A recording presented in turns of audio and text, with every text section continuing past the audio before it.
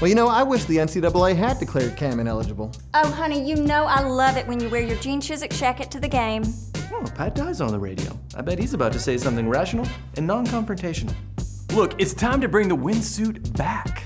Yeah, I, I just kind of wish we played Clemson more often. I'm totally over last year's Georgia loss. No, no, go get your hot dog. It's just like a stupid Eagle flight that we do. Nobody cares.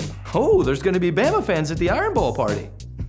The more the merrier. I don't know what Charles Barkley ever did to deserve a statue. I think it's just so cool we get to replace our trees every year now. Guys, I know kick six just happened, but we can't rush the field. Think of what it'll do to the hedges.